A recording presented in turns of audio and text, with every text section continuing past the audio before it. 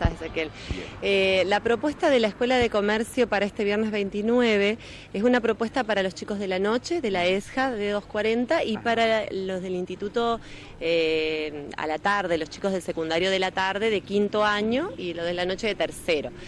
Es una propuesta que empieza hace cuatro años atrás eh, con como la finalización de un proceso de orientación vocacional que hacíamos optativo para los chicos con un proyecto que yo tengo en, horas designadas de gabinete, donde, bueno, una de las cosas que hago es este proyecto. Ellos vienen durante un trimestre trabajando en orientación vocacional y una forma de buscar información para ver qué quieren hacer eh, es ir a la Feria de las Carreras. Nosotros buscamos adaptar la Feria de las Carreras a la Feria de los Profesionales. Entonces, una cosa de por ahí ir a la Feria de Carreras, que van a Paraná y demás, pero donde eh, está más impersonal la cuestión, ¿no? De que uno va y pregunta, pero no sabes muy bien cómo es, a ver, ¿se puede vivir de esto realmente? ¿Cómo construís el rol? ¿Qué otras cosas haces además de esa profesión que tenés? ¿Qué tenía que ver con algunos intereses y gustos que tenías tal vez en tu secundario? Que ellos por ahí no reconocen eso, ¿no? De que el rol se construye, que uno tal vez ya venía haciendo cosas en el secundario que tienen que ver con lo que va a hacer después. Entonces eh, empezamos invitando a algunas personas, vos fuiste uno de los invitados por nuestros contactos, así, gente, amigos, eh, profesionales y también de ocupaciones, porque nosotros a la noche tenemos muchos chicos que ya están trabajando y que por ahí eligen eh, fortalecer y capacitarse en alguna ocupación.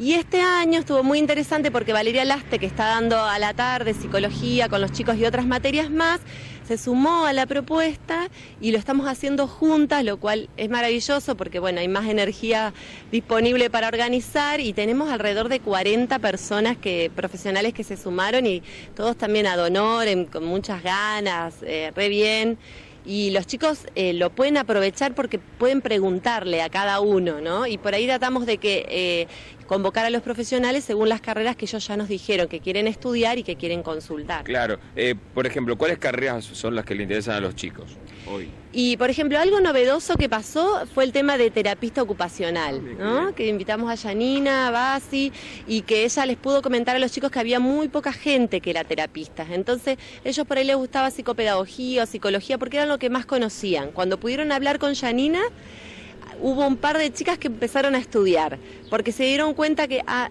por ahí venía, ¿no? Y que no lo sabían porque no conocían terapistas. Eh, nos han pedido, eh, bueno, las carreras tradicionales, eh, contador, administración de empresa, diseño gráfico, diseño indumentaria, diseño industrial. después algunos quieren traductorado de inglés. Profesorados. profesorados que tratamos de que sean profesores que no trabajamos en la institución. Porque a nosotros ya nos conocen y nos pueden preguntar.